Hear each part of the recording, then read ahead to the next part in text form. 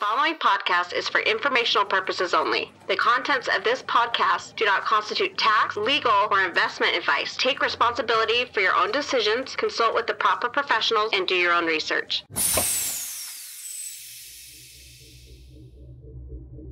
you know the graph we saw that very early on at LunarCrush it was like all over social people talking about it and it grew this like really awesome community but i think it's it's become kind of like this fundamental layer like the indexer for what is possible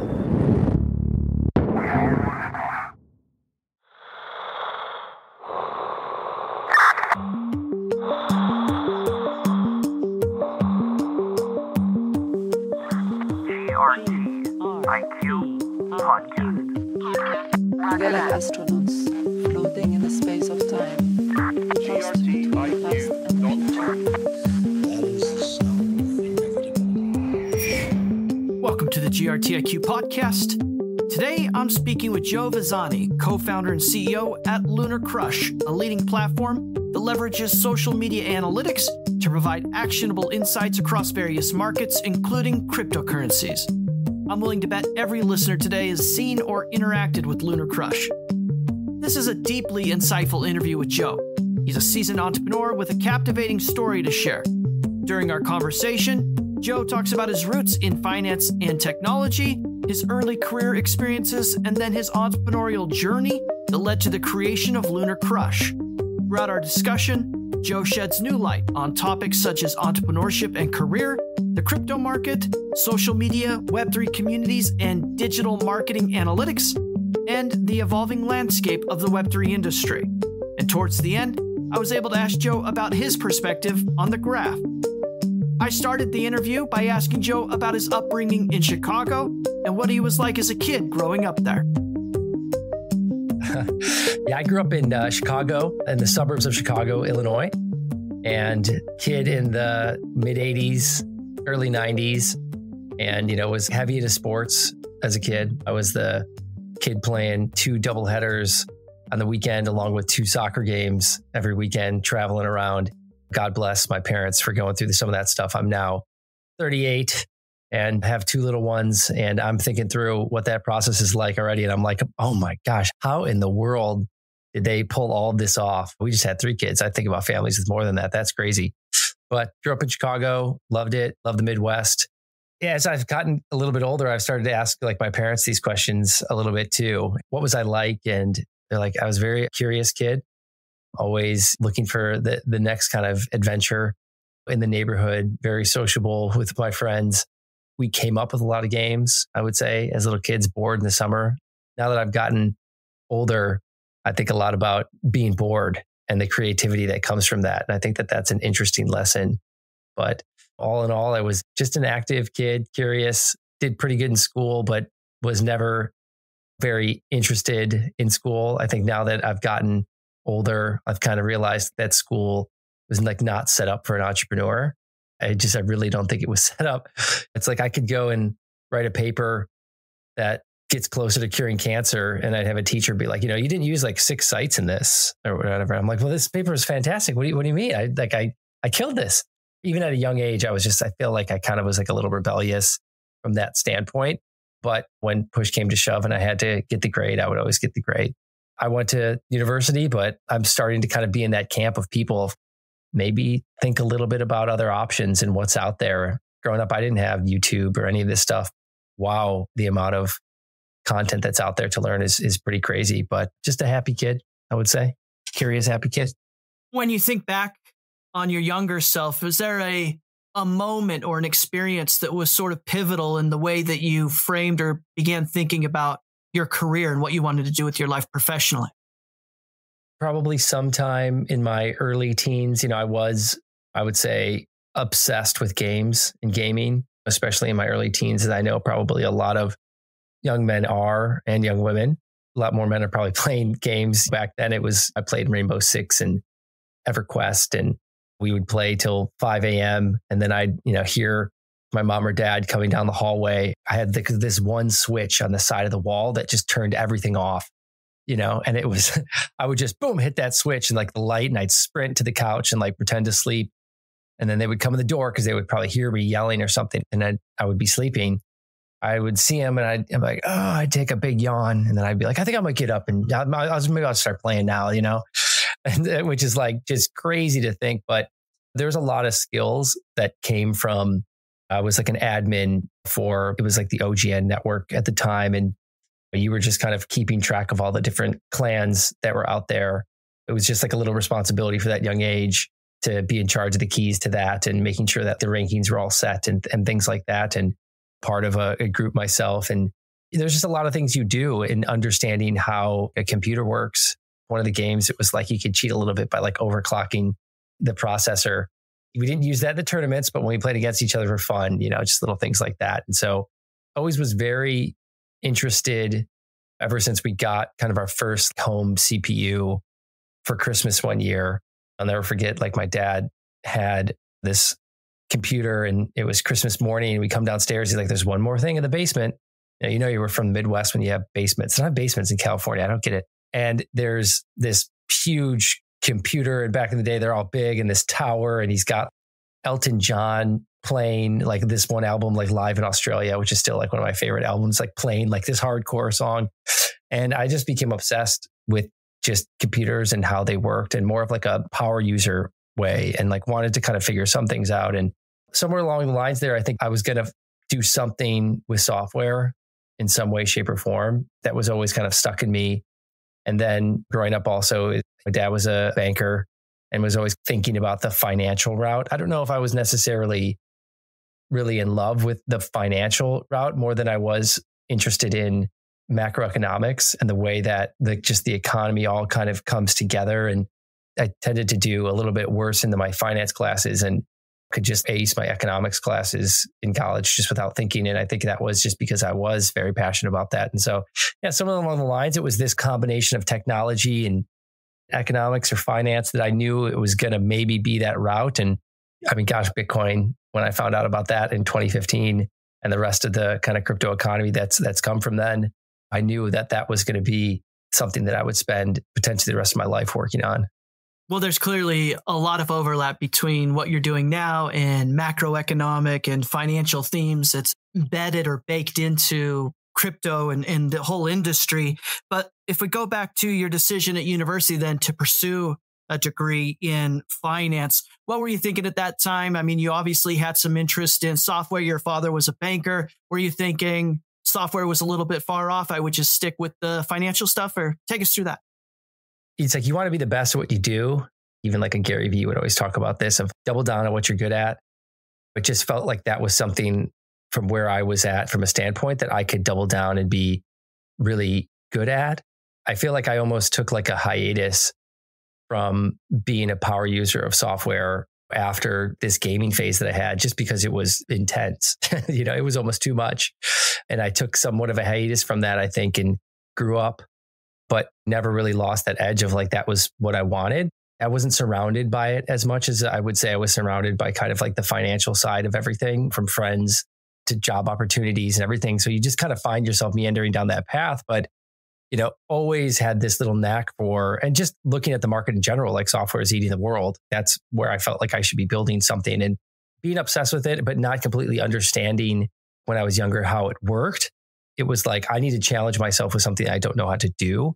When I came out of school in 2008, finance was everything, markets booming. And then all of a sudden, this financial crisis, you know, I wanted to go work on Wall Street. I thought that that was going to be it. And then next thing I know, a place that I wanted to work, Lehman Brothers, like doesn't exist anymore.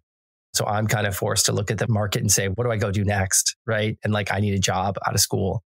It definitely was a force function to make me rethink my career or, eh, or not even rethink my career, just like scramble to find something. Right. And sometimes that's what you have to do. When you think back on your career in traditional finance, and I think we're talking about roughly 13 years, so over a decade of your professional experience working in finance, and you had uh, various roles with some very large firms. But when you think back on that, are you happy about it? I mean, was that a, a learning experience for you? Something you still leverage today in, in your role and what you're doing at LunarCrush?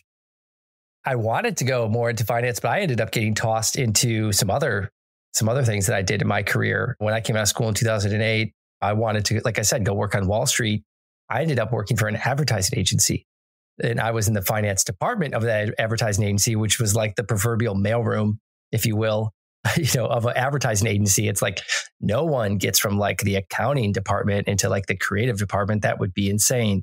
And so for me, I was kind of like, well, how do I get as close to that as I can? That's the lifeblood of this industry. And I was kind of taken for a turn because I didn't even know when I got my first job out of school, like what that company did. They're like, we're an advertising agency. I was like, is this a job? Do you pay? Like, I'll take it.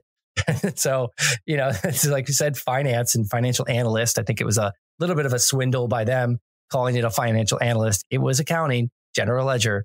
I, I got in there and one of the first weeks I was there, they were like, Hey, we won this new account. You know, it was this MillerCoors account in Chicago. And like MillerCoors had this merger and they're like celebrating. And then it was like, come to the party. And it was like the Backstreet Boys were playing like in our office. I was like, what is going on here? This is insane. And they did like a Q&A after. And I'm like probably the fifth day on the job. And advertising agency tends to be, there's more women working there. So a lot of these women were at the age group that were like obsessed with the Backstreet Boys. And so no one was raising their hand. And so I just raised my hand. I don't know if I like looked it up beforehand or something, but I think one of the guys wasn't with the band anymore. And so I said, like, what's it like making music without Kevin? And they all turned their head and everyone like turned to me like, who's this kid or whatnot? And I, I don't, I don't remember what happened after that. I probably blacked out, but that was a fun experience for me to be introduced to kind of the creative process and what that was. And being that kind of curious mindset, I was always like, well, how do I kind of move around this organization? What else is there to do? And found out pretty quickly that some of the skill set that I had in finance could cross over into production and business management. And so I was like, okay, I can work with spreadsheets. I can make budgets. I can figure this out. And that got me a little bit closer to some of the stuff that they were doing around like radio production and television production. And those were things for me. It's like growing up in Chicago as a finance kid, I was like, this is Hollywood type stuff, which was really exciting and fun for me to, to learn about. And so then found some other paths in my career. You know, I love that, that job. It got me out to California. Loved working at the, the office that they had out here. Great opportunity I got from my boss at the time, Eric, who was a cheerleader for me and, and knew what I was capable of. And so continued to work on that. But eventually wanted to try some other stuff as well. And so, you know, as you kind of adapt in your career, it's like for me, I've always just like jumped into something different. The GRTiQ podcast is made possible by a generous grant from the Graph Foundation. The Graph Grants program provides support for protocol infrastructure, tooling, dApps, subgraphs, and community building efforts. Learn more at thegraph.foundation. That's thegraph.foundation.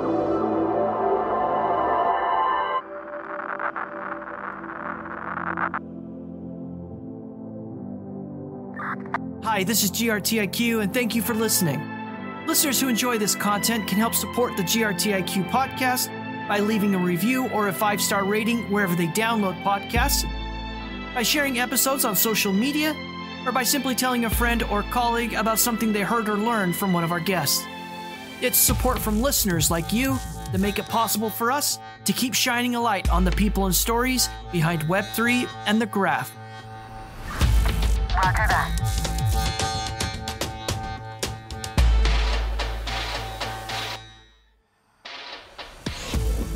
Listeners of this podcast who are younger, right? So maybe at their point in their life, they're kind of where you were at that point in your life, trying to figure out career. And like you said, the 08 crisis happened. And so you were just looking for a job and you wanted to get to work. And maybe there's listeners that are trying to do the same, or maybe they're trying to massage their career and kind of find the direction they need to go. But as you look back on that time in your life, what's the insight or the advice to anybody that's trying to navigate something similar?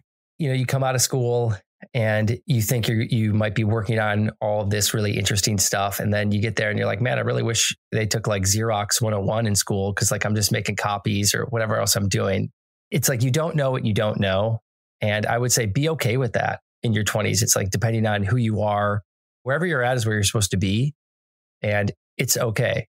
And have these aspirations to do things stay curious ask questions be timely skate to where the puck is going and like predict a little bit what the person you're working with or your boss, if they're a quality boss and they're a kind person, try and figure out and always be one step ahead. And if you're not exactly where you want to be at that second, that's okay. Like you have to have some patience If you're listening to this and you're 22 or 23 and you're like, I'm this job and I should be better than that, it's like maybe you shouldn't be because you're not there. And that's okay. And just be okay with where you're at. And depending on who you are and what you're doing, it's like have some fun in your 20s. Focus on your friends and some travel. And if you've got friends that are consultants that can travel on the weekends, like go stay in their hotel rooms and take advantage of those things and explore a little bit. Because for most people, if you eventually want to you know, have a family and, and all those things, like it does change your ability to do things. Like obviously it, it opens up a lot of opportunities, but also is a lot different. I can't go sleep on couches or don't go sleep on couches of friends and just leave on a whim with the family now.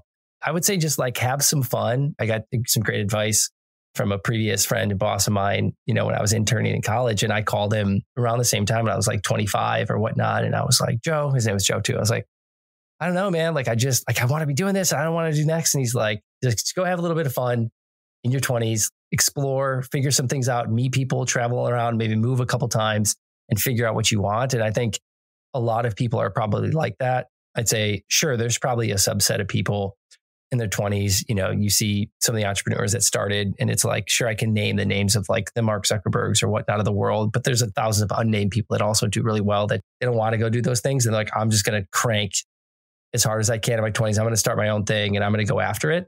That's a, a little bit of a different path for some people. I'd say a lot of people actually are probably in the camp of trying to get some experience first and then maybe going and trying something. A lot of entrepreneurs that do well. I think I read the other day the average exit, the average age is over 50. People would think, oh, all these entrepreneurs that start companies are in their 20s and that's how it works. It's like, it's not, that's not true. So I'd say have some fun and like be patient. And it's okay that you don't know everything. Just go learn, find good mentors, find people that, you know, are five years ahead of you where you want to be. Stay close to those people. Find people that are 10 years, 15 years ahead and really just try to talk to them and understand where you are in your life based on that. And I think it's like finding good mentors is pretty pivotal. In 2014, you took another sort of turn in your career and we're taking big leaps here, obviously, but you throw your hand into entrepreneurship and you launch Lifeline Response. Was that your first entrepreneurial venture? It was, yeah. I was brought in by uh, another friend of mine. He called me one day and he's like, Hey, I've got this idea. Here's this app that I'm building. Like, do you want to be a part of it? And I said, Sure. For me, it was like just making another jump. People talk about risk that's one huge lesson also to people that are younger is that everyone thinks that there's this like huge risk to starting a company or going and starting something on your own. The risk to me is not trying something on your own. That's why it's important when you're a little bit younger, whether it's like benefits, you know, that's a whole nother avenue. That's one of the main reasons people don't start companies is like, how can I afford to stay healthy? It's like, my gosh, how are we stifling innovation by not taking care of people? But I don't know what the answer is there. There's a rub there. But yeah, that was my first venture in. We so I happened to get into like a Techstars program in Kansas City. It was one of their first powered by programs in 2014 with Sprint. For me, it was another one of those opportunities where I my eyes were wide open and you're drinking from a fire hose and you're like, what is this world? What's going on? But I, I do remember being there and in the first week, you know, there's 10 companies and meeting some of the people that had started these other companies and being a part of that where I I realized like, oh, this is who I am for sure these are my people. These are the people that are, you know, I can have conversations with that are thinking the way that I'm thinking, that are curious like I am to do things, that are taking risks. I just remember feeling like, okay, this is what I've been missing. Like I am an entrepreneur. That's what I do.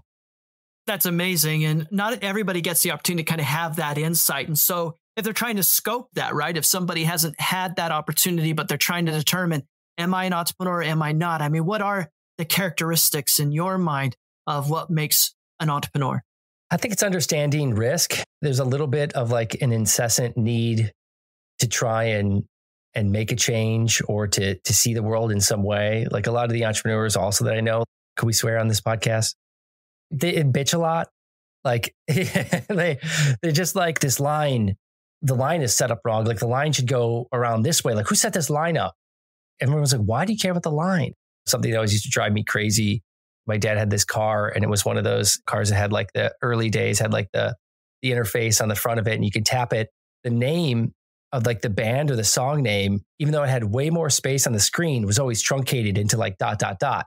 I was like use the rest of the screen. Like it just drive me crazy. I was like who designed that?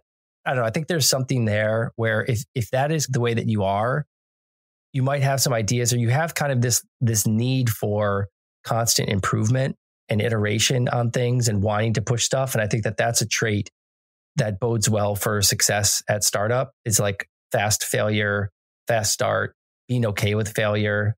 If these are some of the things that you realize that you're good at, then you know maybe this world is is for you. It can be for anyone. Like all these traits are all learned. Even with a software startup, there's designers, there's product managers, there's developers, there's sales roles, there's growth roles. And so I would say even if you're like, I don't know what the idea is, or maybe I don't want to start something day one myself, or like, what would I start? That's not me. I mean, there are so many startups with three, four, five people. If you could be number five or six, even if it's at a startup that you don't know if it's going to grow or anything else, like you're going to get a great experience and you're going to get closer to that nucleus of like innovation that happens. You'll just know inherently in your heart, do I like this or not? And if you're up every night, just like worried, is like this company running out of money or what's going on? It's like maybe Google is for you and that is totally fine. There's this other class of person that's, you know, they need to be working on something that's theirs or they need to be improving or changing the world in some way. Even so, it doesn't necessarily mean that that entrepreneur is going to make as big of an impact, even as someone maybe that is at Google or is at some other company that can make an impact. They're just different things. I think startup and entrepreneurship has been glamorized in a way almost too much. It's a grind, man. It is a hardcore grind. And like you have to be willing to take the nose and being in an early stage startup is like the best and worst day of your life over and over and over again. And like, if you're not willing to kind of go through that, eh, there's like maybe some like sadistic piece to it of like, that's just, you know, I don't know. I've always wanted to go and do a survey on every like CEO and founder and like some sort of like childhood survey and ask like, were your parents split? What went on? Like, I think a lot of people did come out of environments that might have not been the environment that maybe you think that they came out of. I've had the opportunity to have interviews with a lot of entrepreneurs working in Web3. And I always like to ask this question about fear because I think a lot of people who may fancy themselves as an entrepreneur or involved in an entrepreneurial venture are crippled by fear, either the fear of failure, the fear of what happens next, the fear of not knowing what to do. And so my question is, I mean, how do you frame fear? Are you are you afraid of failure? I think I was. You grapple with it right? And then you kind of understand what actually is failure. I also tell this to a lot of the the younger folks, or even people that would want to join LunarCrush as an employee or someone that's a young entrepreneur trying to start their own thing. Is that there is no true failure with trying to start something on your own. If you go and try a startup, or you're an early employee at a startup, you work there for a year or two, you are going to move leaps and bounds ahead of the rest of the people that are kind of in your class, same graduated the same year as you, in the same field as you, because of what you learn about how businesses organize. And it's going to blow your mind that when you get back into the workforce, you're like, oh my gosh, like I just do this one small thing. I was doing all of these other things. I think that's why you do see people always kind of drop back into startup life because they're like, man, I need to just to do more. This is boring the level of risk is actually much lower than you think it is when you're thinking about starting something. And I think that's the fear, you know, the fear from like where the next paycheck's going to come from, but you're, you're going to figure it out, especially if you're younger. You know, I had uh, my great uncle passed away recently and he was 101 and, you know, he had a startup at like age 90 that he did. And I think he like might have sold it or something at like 95. And then I got entrepreneurs and people are telling me that they're like 24 years old and now they're 26 and they're all freaking out about everything. And I'm like, great uncle is 90 and he ran his company five years longer than you at 95. You're only two years into it and you're like 26. You have 70 years left to figure some stuff out. Like it is not over. And so I think people sometimes have a hard time seeing five feet in front of their face but you got to remove yourself from that fear, right? There's also these outside forces that really impact people around family and their family did this or my dad did that or my mom did that or they said go get a job at, at this consulting company versus starting my own thing. And you know so and so said it's stupid or when i go take this out to the world what are people going to say? Who cares what people are going to say? Right? It just truly doesn't matter. At the end of the day it's you versus you and can you build something? And you know do you think every other entrepreneur that had a ton of success. They did something, they stepped out on day one and suddenly they were like a hero and everything was great, you know, and it was an overnight success. It just wasn't. But I think I've probably said this kind of thing on a podcast a lot, but what you realize is that some people, they just they don't have everything coming to them, right? They don't have all the data. They don't have content maybe like this to, to hear from other people. And so I think that's why it actually is a hard thing for people to kind of get over. But you can't have fear out there. I mean, especially it's like if you're running like a software company in Web3 and crypto, it's like you're really passionate, but it's if you fail, no one's dying. It's just you back in the workforce potentially or starting your own thing. A lot of investors love backing second time entrepreneurs that failed. You went through it, you're trying again. They're like, okay, this kid's not going to give up. Like, let's give him a chance. And so fear is there. It's good for certain reasons. It's good to have some positive anxiety around you want to keep the lifestyle that you have and do the things that you're doing. But I would say rein it in and focus on what you're doing, keep your expenses down. You don't need to be keeping up with the Joneses if you're trying to operate a business on a, on a shoestring budget, because those little things in your life all kind of are synergistic with the outcome that happens. So it's like if you're staying fit, if you're eating well, if you're sleeping well, if you have gratitude and positive relationships in your life, if you take time to yourself and you foster relationships with friends and family that matter and do take times for that. And then you wake up in the morning, you're going to be firing on all cylinders versus treating your body like shit, eating, drinking bad, doing all these things. That's when you don't have a full gas tank and the anxiety can creep in and all these other things can creep in. So manage yourself, manage your body, and know that the outcome, no matter what it is, you're going to be better for it. So after Lifeline Response, there was one more stop before you launched LunarCrush. And so if we just kind of go back to your story here, what happened to Lifeline Response and, and what'd you do afterwards? Yeah, I mean, Lifeline's still rolling. Pete over there, I think he's doing well. They're doing well. They're out there. You know, for me, it was one of those moments where it was like I needed to go do do something else, and ended up serendipitously into uh, another ad agency out here in Orange County. It was actually like my co-founder now, John, who I met, and he was the one that brought me in there. And, you know, it was a good example of what I'm saying of getting into an organization that did advertising that, you know, I kind of was like, I never thought I was going to even be in advertising again after being a part of a startup. I also had a stint of like doing some sales. I was in like building construction materials at Owens Corning, which was like an amazing experience too. But anyone that's been at a startup for a couple years, I just needed like a breather, you know? And so found something and didn't really know what I would be doing. But this is a good example of I was at a software startup building, learned a lot about user experience and product and analytics. And you know, these were other talents that I didn't really have beforehand. And then get into an organization and realize really quickly, like, wow, I've learned 10 times more than a lot of these people in the last couple years. And it's probably taken them a long time to learn. That was a great example of that, of like, wow, I, I'm pretty good at all this stuff and I could be helpful here. And so spent a couple of years there working on some really awesome things. We built a, a, mobile app that brings the test drive to your house for Hyundai. I really treasured my time there. Great people.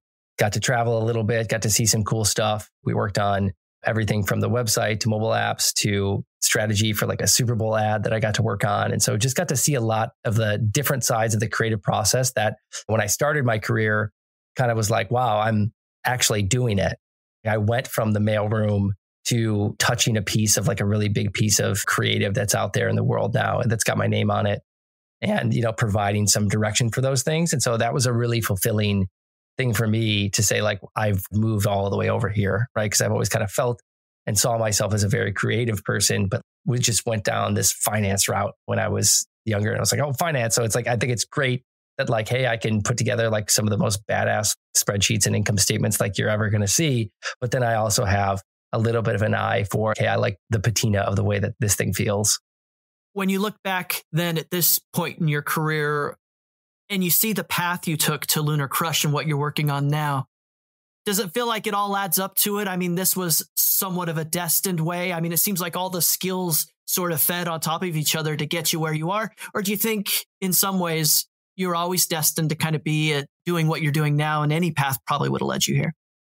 So my, I started to get into my 30s. I kind of realized I'm like a, a CEO, and, and people can't take me seriously because I'm too young. But I always kind of felt like inside of a CEO's body, I guess, if you will, once I've kind of figured out what the job was of like a CEO, even as, as a startup company. The short answer is yes, being able to see all of these different parts of businesses and then having this innate feeling that I was an, uh, an entrepreneur and that I wanted to take that risk and go do something. I would say, yeah, I'm, I'm really glad that I did do the things that I did and have the experiences that I had because I think it set me up for success and what I would call like my second venture, but first venture that was me as a CEO and, and co-founding. It set me up to say, like, I feel like I could be really good at this. And, you know, I've got the tool set, you know, and then what you learn at a startup, and there's three of us that are co-founders, is that we do a lot of work and we do a lot of different things. And, you know, as a CEO, you kind of just fill in the gap for the thing that that's not working or the thing that needs to be done at that moment. And those things could be very wide ranging. You're doing founder led sales. You might be doing customer support. You might need to dive in on design on something because it's not going in the direction maybe that you think is, is the direction it should go. You need to do fundraising and what's included in fundraising, right? You've got to have like a, an awesome deck, right? That makes sense, that makes people feel some, some sort of emotion with what they're seeing and the vision for that. You know, you need to be up to snuff on the, on the numbers and the financials and the revenue estimates and income statement and you're going to have other financial people poking holes in that. So you got to make sure that you are the one hitting the keystroke to say, you know, here's my assumptions that I'm making. And so putting those things together and having like a finished product on that and really knowing that I could do that soup to nuts from start to finish myself, I think I realized I've got a lot of these little talents that took me 10 years of working in the workforce. Plus, I would say starting, you know, at age 12, like making skins for like Winamp or whatever I was doing and working with Flash to make like the cool backgrounds for my whatever clan that I was working on and things like that. Like all of those little things add up and you don't realize the plethora of experience that you have until you're sitting there doing it. And then now being in kind of the saddle the last five years from LunarCrush, the amount that I've learned and grown even since day one here you know, no one starts out as an expert in crypto or Web3. I mean, when I started, I was just like, John came up to me one day at, at Enocean. He's like, Hey, dude, you got any Bitcoin? This is like January 2015. That's when we started looking at it. And I was like, no, but like, this looks like the intersection of finance and technology. And I think that that's what I've been waiting for since I was 10 years old. You're still a beginner. You know, we didn't actually start LunarCrush until like 2018.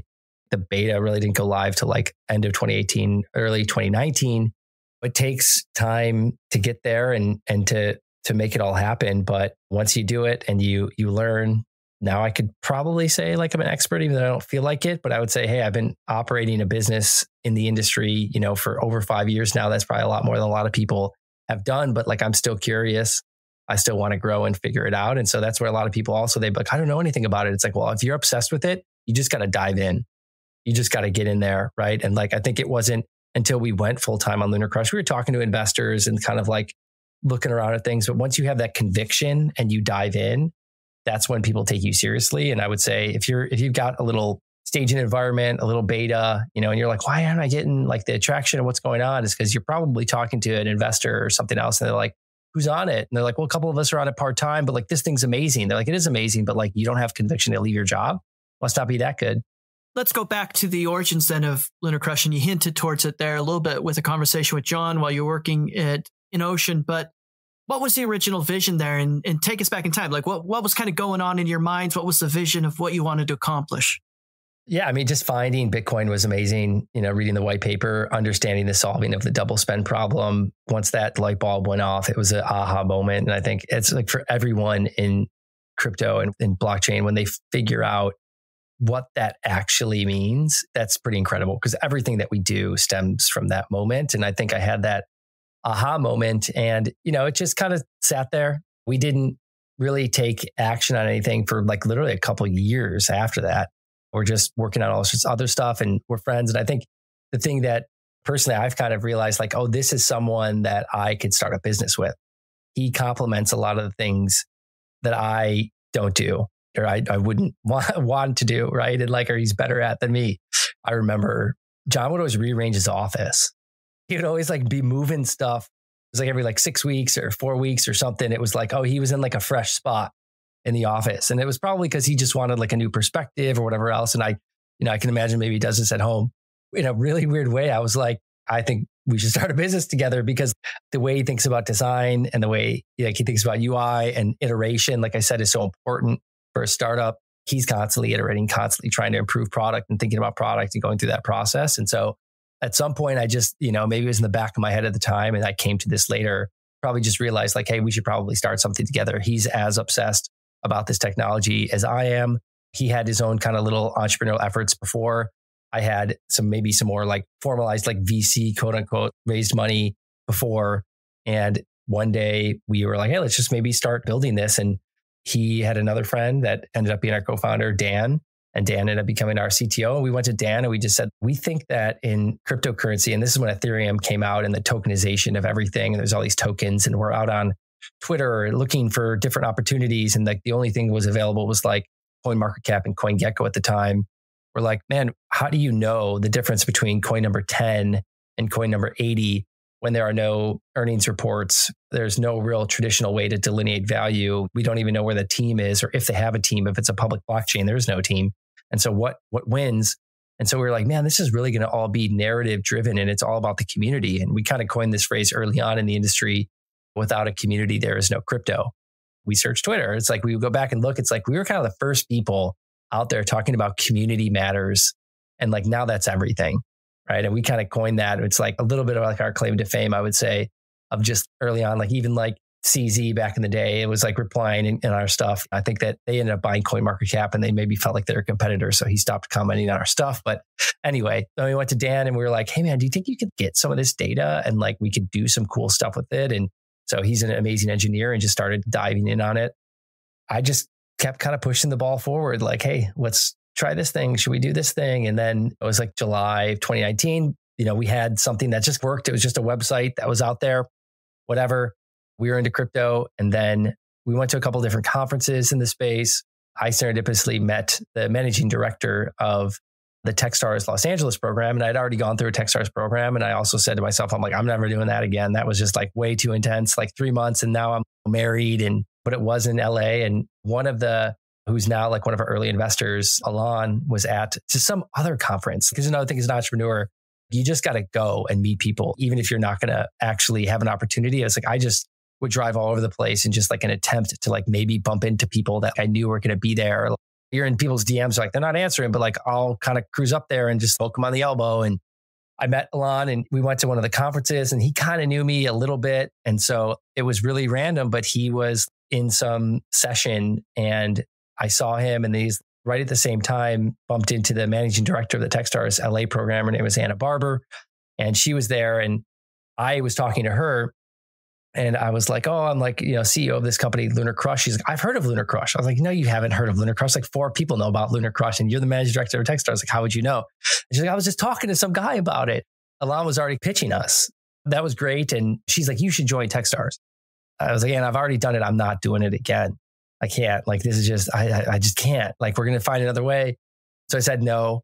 And then I am in a hotel room in Australia on a business trip and she calls me or sends me a note and basically says that they had a company drop out of Techstars and they needed another company to come in. And I was pre vetted. I had already been through a Techstars program. I had a product that was working in the market. I think we might have had a, like a customer already. She's like, you got to make it happen. I was like, you know what? This is it. We're going for it. It's time. And so I called John and I was like, we got to do it, man. We got 48 hours. You know, I told her we're not doing any entrance, anything. And if you're listening, sorry, but like I said, we're not doing any entrance, anything. We're in. But she's like, fine, but you got to let me know right away. And so I called him and I was like, we're doing it, man. Let's do it. And at the time, we actually didn't work together anymore. He had already left and, and gone to another company. And uh, he came back. He said, yeah, let's do it. And so I think part of it is taking that leap, you know, and he saw probably the conviction I had. I was like, let's go, let's go. So yeah, that's how we, we got into Techstars. And then that was, you know, you go full time at something and that's like a, a, pretty big deal. And then, you know, we're kind of off to the races from there. Talk to us about the name. Where did you guys get the name LunarCrush and what was the ideology behind that? You know, John's wife came, came up with it. It was like everyone in crypto was like, you're crushing it. And like, is this big gamer kind of feel around everything? And everything's going to the moon, you know, up in price. And so I think lunarcrush.com was available. We ended up with LunarCrush ever since. It's just kind of stuck sometimes people are, you know, they want you to change stuff and like you stick with the name. The name is the name. How has that original vision, and you described it so well, and it makes total sense. How has the vision for LunarCrush evolved over time and some of the things that you're working on? We started with this idea around social listening for crypto. And really, what we were doing is creating transparency on the internet. And in this world of instant access to all this content across different social media platforms and even back then when we were doing it. I mean, there wasn't as much like citizen journalism and the mainstream media was not, I think, hated on as much as it is now. We did see this idea behind the real time ingestion of data. And really, it's just trying to distill down a million voices into insights. And how do you do that? So I think the vision's always kind of just been creating transparency. And that's an overall good thing for society. And the data that we have can be used for like anything. But we were just personally obsessed with Web3 and, and crypto. And we thought that the use case for us was creating transparency for investors in this new economy that's going to be gigantic. And like I said, Bitcoin, like a couple hundred bucks, thousand bucks, and it's a small thing. It's a huge risk to focus on that one thing. But that was kind of what we thought and what we saw for the world was this is going to be a massive thing. And a lot of like institutions on Wall Street, and maybe this kind of stems a little bit back to like why I love it so much is that not being able to go work at Lehman Brothers in 2008 because of what happened. And all these institutions, they have access to a lot of this data. And the average everyday person doesn't really have access to that data. And so we serve both markets, but it, it does feel good to make a lot of this really impossible data that just Wall Street had access to before available for the everyday investor.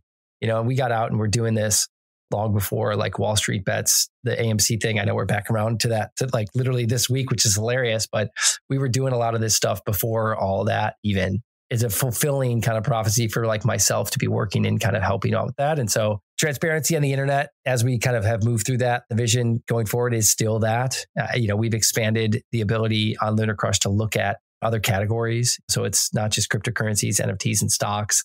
You know, you can go see the top 25 luxury brands, or you can go see the top automotive brands and you know who's talking about them and which influencers are the most influential over those brands and how are they ranked over time and so it's really broadening out the data set and letting anyone that's really looking for social arbitrage for anything, social arbitrage for marketing, for your you know influencer count or growing or whether you're looking at it for you know potentially investing in something it's really just giving you the tools and once you have access to this data it's like you can't really go without it prior to lunar rushes you've already explained i mean you had built up some strong skills and know-how when it comes to advertising and marketing and you had expertise there. Then you go to work on LunarCrush and now here you are working in Web3. How has this experience reshaped or maybe evolved the way you think about advertising and marketing? Yeah, that is a great question because it has changed a lot, right? And I think I've seen the evolution in just my career from looking at different jobs that we would launch for different brands back then. And it's, you know, there's billboards, there's out of home stuff. Like there's a lot of that that's going on to then like the most hardcore mobile advertising and banner ads and digital is this huge thing that everyone's focused on. And then it's now bam, social media and it's got to be content, content, content. And everyone's got to make all, all this content. And like that's what it's all about. And it's all about content. And now going through like even COVID when it went probably even heavier, that was probably like the peak of like the content. Everyone's got a podcast. Everyone's live streaming. People didn't make it like you did through the through the storm. They gave up. And now it's like I think we're to like this experiential world a little bit and like experiences are really are what are impactful for people because people are inside their homes. You know, I was talking about this with a friend yesterday. It's like social media is actually like you're just droning on when you're on this and it's it's almost like the ads on there it's like it's just like another thing and you don't know what's an ad and what's not an ad because you know some influencer has been hired to wear a watch especially gen z is a little bit more numb to that you know there's no bias towards any sort of brand out there. They're just agnostic trying to figure out what matters. And so i think these brands are trying to create experiences. And you know that's why you see a lot of conferences and speakers and parties like especially in our industry it's all conference driven. And that's where we all go do bd because we don't get to see each other. And so everyone's really focused on like the experience there and like what's the feeling that they can give you that you can associate back with that brand and almost say like that brand's cool. It's like it's Nike. It's like I just want to be a part of that brand because Michael's a part of it. I want to be cool like that. And so I think we've seen an evolution there and crypto I would say the change from web 2 to web 3 was this organic all online, you know, they don't have like Discord channels they probably tried it once it really got big for crypto, but it's like there's probably not like a really epic, blown out Discord environment for like Kohler. Kohler's kick ass, by the way. They're amazing. Like I'm not talking shit on Kohler. It's an old company that does like has the best customer support like ever. Kohler, you guys rock. There's just a different thing there, but that's the type of customer, crypto kind of maniac, crypto hardcore. It's like they live on Twitter, they live on Discord, they're they're on Telegram. Like all the BD in our industry, as you probably know, is all done on like Telegram and a little bit of WhatsApp. No one emails.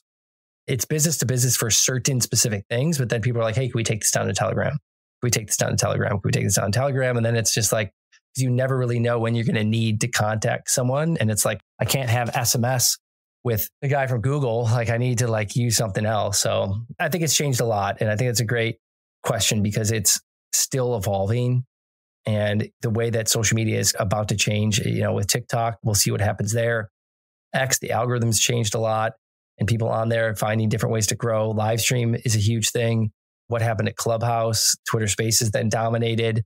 You know, I saw something, I think it was like Naval was backing it, where it was this like audio only, but also it's like as you're scrolling, you're hearing audio. I thought that was pretty cool, but haven't figured it out. Then you've got like Warpcast or Farcaster, which is like decentralized social that seems to like be doing well, I would say. They're like doing the best.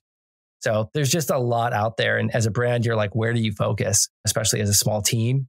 And so you kind of have to just pick a couple or pick one and be really good at it and like make sure that you're getting product market fit and you're growing organically before you start spending money. How do you reconcile in your mind when it comes to crypto this question of value what value is created by a project or a team. And then this very crypto driven, Twitter, CT, sentiment driven kind of value that seems to be all about token and token prices. I mean, how do you think through and reconcile that? You use the word reconcile because you have to kind of reconcile how insane it is and how a lot of times it's not going to make sense in your mind and how the market could stay crazy a lot longer than you can stay solvent. That's the world that we're in. It's very narrative driven. I mean, we're seeing it with what we saw with AMC, right? Shorts getting liquidated, hedge funds going under because retail investors want to support someone and like support a cause because so and so is not selling. Right? That just makes absolutely no sense. And it's it's short-lived, but it did make an impact. But in crypto, it's it's always been hard. And that's why we said without a community, there is no crypto. And what is a meme coin? I mean, what is a meme stock? What is it? But, you know, what I've kind of realized over the years is that what is a country club? Sure, I can go play golf there, but some people are, you can have a social membership there too. And all you do is you go and you meet up and you have dinner, right? And you pay money to be, have access to that. And those things have existed for 100 years. And those are massive things. There's social clubs all over our country and everywhere in the world. And so NFTs started down that path. And I think this kind of last meme coin craze was, hey, like I can't afford a bored ape, right, for $100,000, but I can buy $20 worth of Dogecoin or $10 worth, you know, worth of Slerf or whatever it was, you know, on Solana. And I can be a part of something. And whether or not it's short lived or long lived, you know, like I look at something like a Floki, they've like built some schools, last cycle. They've got a DEX, they've got more utility than like some layer ones, to be honest with you. Like they truly do. They got more holders and more users than some layer ones. And they're just a meme coin that's turned into something. And I think that that kind of inverted business model is confusing for people. You know, you used to start a product in a garage, you know, maybe go get some investors or maybe some early customers, and then like you grow a brand. And these people are inverting that and they're like growing a brand and then working into the product. And that's really confusing. And I think like angers some people because they feel like, oh, these people are raising money and getting all this stuff and they haven't done anything. It's like, well, man, you know how hard it is to get attention in this world? It might be harder to get attention than it might be to even like build something of value, honestly. And so the attention is the value. And so I think that that is confusing for people. It doesn't make sense. But at some point, you do need to deliver something, right? But that something can be community it can be meetups. It can be something that's like, that's, that's fine. But I think you have to turn it into something to have that staying power. You know, we look in the top 10 cryptos over the last 10 years. I mean, 10 years ago, there's only one coin that's still in the top 10 that was there 10 years ago, and that's Bitcoin, right? Nothing has staying power. That's a lesson. I, I, you know, the utility side of it, I think it blows people's minds sometimes when there's a token that has like all this awesome utility and it's not doing anything. We still are in this kind of weird speculative cycle moment for crypto. people even give Bitcoin shit about like Bitcoin really doesn't like do anything. It's like, well, it's worth a trillion dollars. People love it. People would rather die than like cut their hand off and get rid of it. Like I think there's some conviction there. You can't deny the utility around, you know, just hodling. Every cycle, it seems like, has themes that sort of drive sentiment. Going back, obviously, there was the ICO craze, there was DeFi summer. What do you sort of envision as the topics that will drive sentiment in maybe this cycle or in the cycles to come? Yeah, we've gone through some interesting ones with NFTs, DeFi, ICO craze. We went through that. I mean, Bitcoin's always just been Bitcoin and I feel like leads everything off.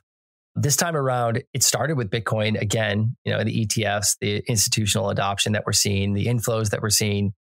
And it went very quickly to meme coins, which I think was confusing for people. It's like institutional adoption and we're formalized and everyone's an adult now. And then people are like, you know, buy like shitcoin number 28. Like it was like, geez, it's like just confusing people. But people were so burnt by what happened with FTX. Like the, your average, like more like Robinhood white collar investor that they just didn't come back yet. And so it was just a bunch of us degens, gamers in the corner, just trading our little meme coins back and forth. It was a lot of that money because money wasn't making it from the Bitcoin ETF suddenly like into PancakeSwap.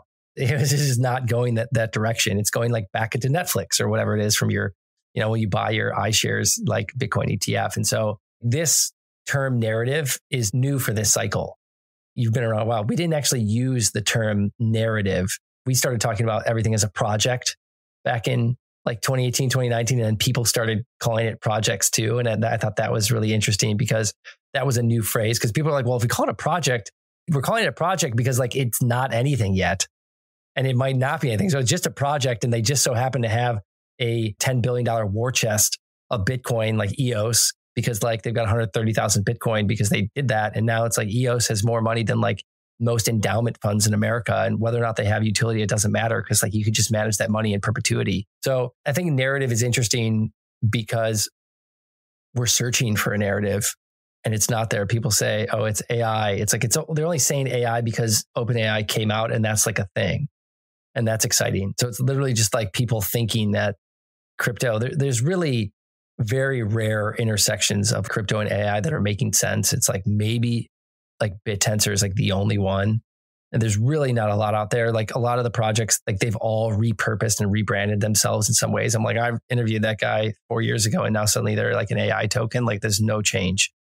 So I think that's kind of like scary in a way. You know, real world assets, that's like another narrative people are talking about. That's just security tokens. We've had that forever. You know, like we've talked about that. I think it's like BTP down in like Brazil has been trying to securitize stuff. It, it just, it's not there. It's like, I'm not seeing the application. Like I want a, an app that like can use my Bitcoin as collateral to like buy a home, you know, as home prices hopefully come down here and get like more millennials and more Gen Z into homes, utilize the utility of maybe the assets that they have, lending, borrowing, stuff like that would be interesting. But honestly, we're searching, you know, the halving came, like building on Bitcoin, I would say is the closest thing that we have to like excitement. But there's a lot of rebuilding that needs to happen of the standard DeFi applications on Bitcoin specifically before you could really have the breakout and the app layer that you want, I would say. But the fact that you can inscribe things in the Bitcoin blockchain, the fact that you can launch a token with runes now on the Bitcoin blockchain in a better way. I know there was BRC20 as well. It's very interesting. And you're going to see new people coming in because all roads feel like they do lead to Bitcoin in a way. And all of us, if we're in the industry, whether or not you're like hardcore Solidity dev building on ETH for your entire life, at the end of the day, without Bitcoin, we're all dead. It's not happening. Like if Satoshi came around and said, Hey, I'm Satoshi and it was proven, Bitcoin goes to zero, in my opinion. Like we have these set ways in our industry and it's like it all leads back to Bitcoin. And so I feel like if there's anything special that's going to happen, it's going to happen out of that narrative, I guess, air quotes, since we're on audio only. It's like out of that narrative. I'd like to see more. I'd like to see more adoption from an app layer with banking, the ability for people to to lend and to borrow and to utilize their cryptocurrencies in, in better ways. You know, I think if you did that, more people would probably pay taxes, more people would, you know, start to utilize these things versus it just being kind of like in this, like this funny money in some random land. If you put on your finance background, your macroeconomics thinking, and you zoom out and look at all the cycles, are they evolving over time as well? I mean, this cycle seems fundamentally different from all the prior ones, but maybe that's what everybody says as we enter a cycle. But how do you think about that? I think the adoption level 2015 finding Bitcoin and probably paying 200 bucks for my first one and selling it probably at like 170 and taking a loss there. Like if I, if BlackRock was, you know, now, you know, and Larry Fink, like if, if I saw the people at that level talking the way that they're talking now, it would blow, like if you go back in time, it would blow everyone's mind. So I think it's in a weird way, Bitcoin is kind of like a religion. It's like a positive mind virus, I would say. It's a truth machine. And I think once people, no matter who you are at what level, once they realize what it is and what it's capable of, and they admit it and they embrace it, there's no turning back. Once you understand it, it's like you never would suddenly be like, I hate Bitcoin. Right. Even if maybe you made a really shitty trade and you lost a bunch of money, but like, I hate Bitcoin. And then suddenly now it's up. It's like, well, if you just would have held, you would have made a ton of money. Why were you trading it? That's your fault. That's not Bitcoin's fault. It's not the truth machine's fault. That's changing the world with the technology that's never been done before and censor resistant computer with millions of nodes, right? That's not that thing's fault. That's your fault. Get out of your own head. We've come so far. And I think each cycle we go through different things. As much as I hated the fact that FTX happened because there's so many amazing builders and everyone had to just basically eat shit for a year and a half and say that you suck, you know, you're building. And like, I think it was important for certain reasons to rid out some of the actors that might be doing more nefarious things. It's like any sort of new technology you're gonna that's gonna happen.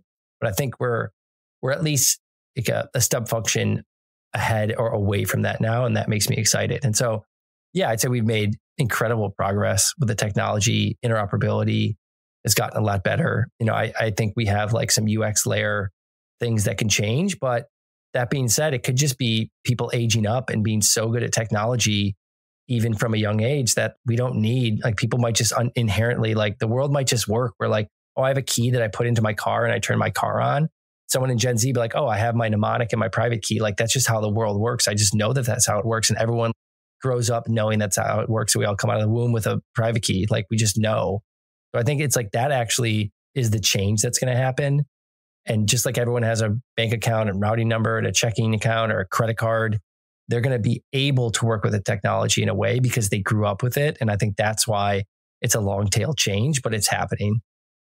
Joe, I only have a few more questions before I ask you the GRTiQ 10. And these are 10 questions I ask each guest of the podcast every week. They're super fun, give us a chance to get to know you a little bit better and get some recommendations and some ideas from you. But the first question is you may know this, but a lot of my listeners are very enthusiastic about the graph and the things that the ecosystem is working on from your perspective at LunarCrush and some of the things that you've seen over there, do you have any perspective or opinions on the community at the Graph and the things that the protocol is working on?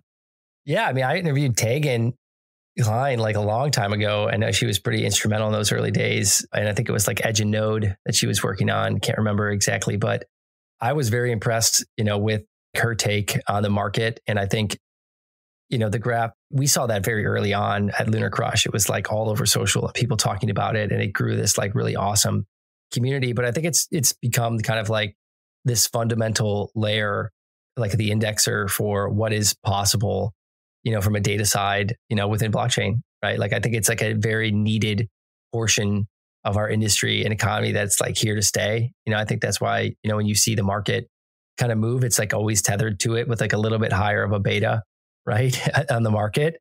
So I'd say keep building. It's tough because it's like there's probably it doesn't feel like there's like too many like super sexy things that have that have come out. It's more like infrastructure that's kind of come out. So it's like, you know, maybe you don't need it. Boring is good.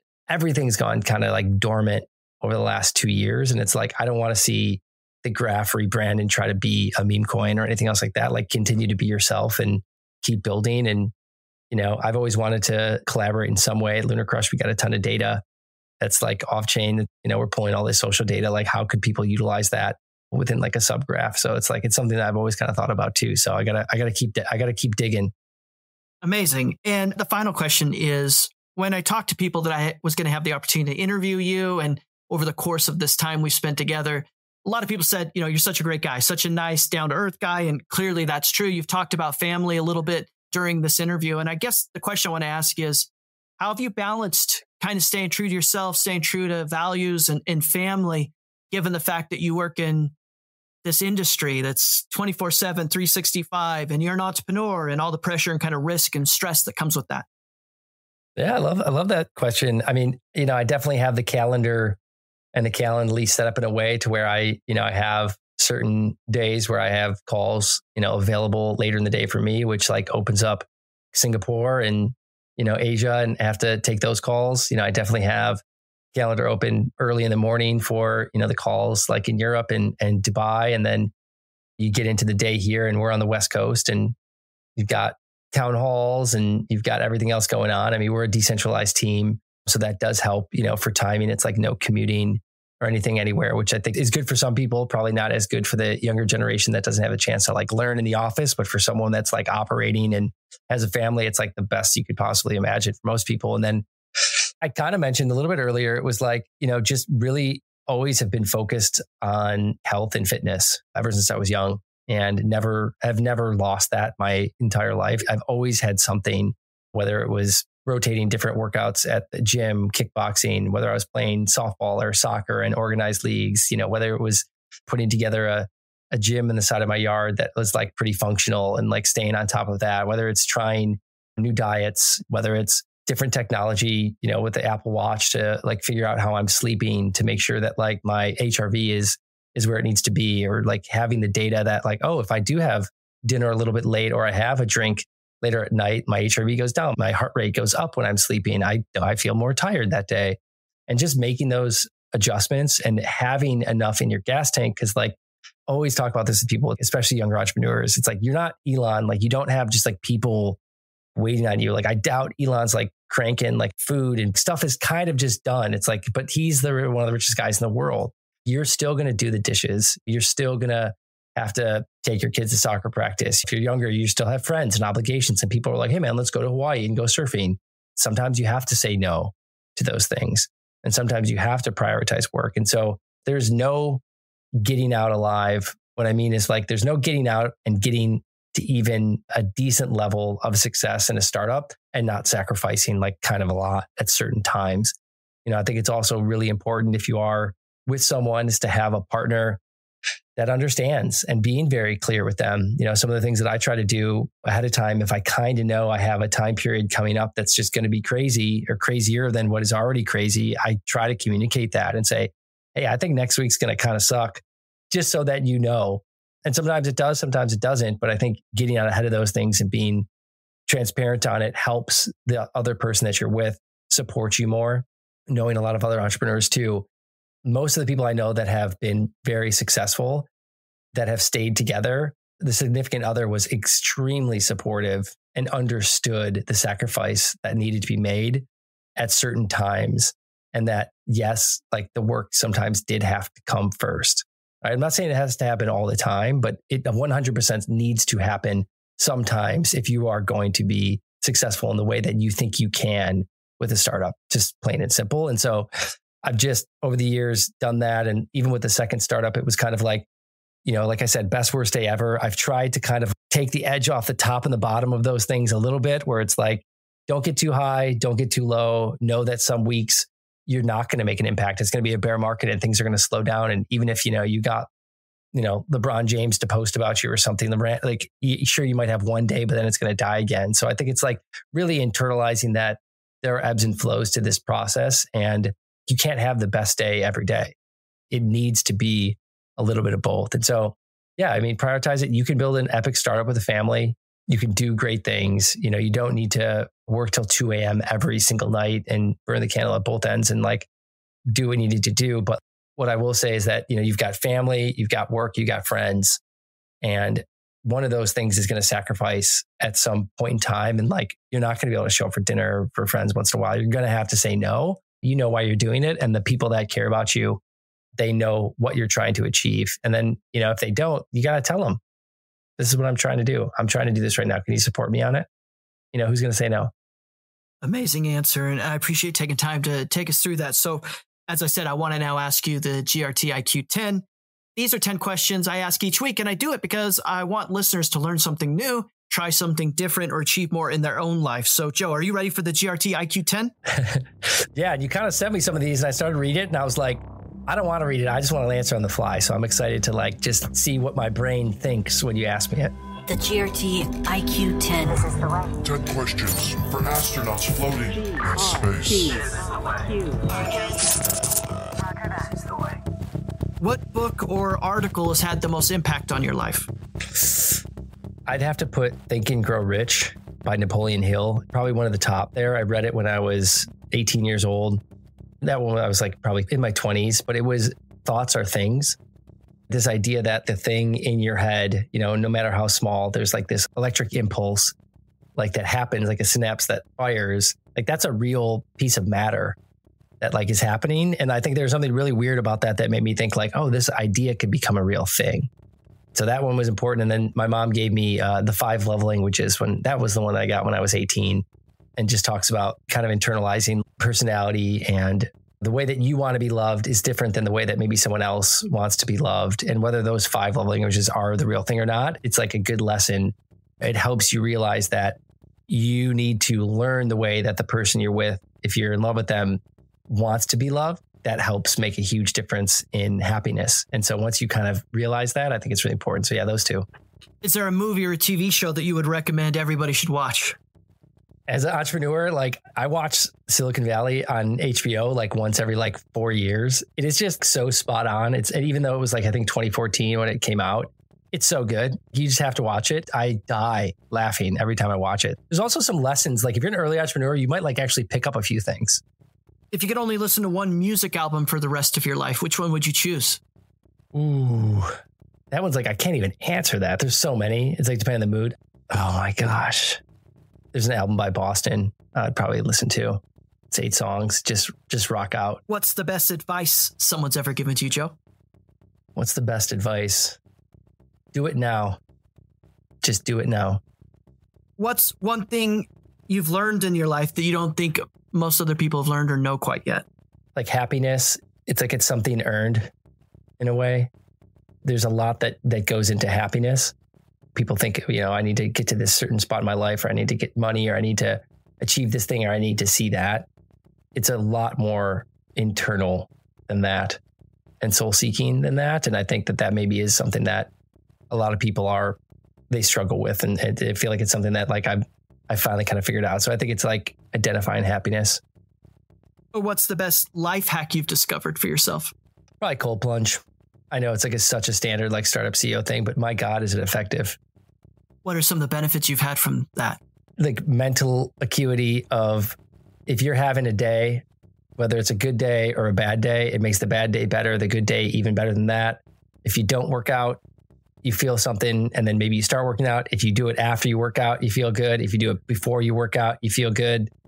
On a hot day, it's amazing. I mean, there's just so many things. I don't know. I mean, the science behind it, I know is like hit or miss, but like it's something that I got into a couple years back and that is a little hack there, especially for just if you you're seeking energy. Based on your own life experiences and observations, what's the one habit or characteristic that you think best explains how people find success in life? Curiosity is really important, but I think two things together, it's focus and then the ability like winning and losing. There's people that love to win and then there's people that hate to lose.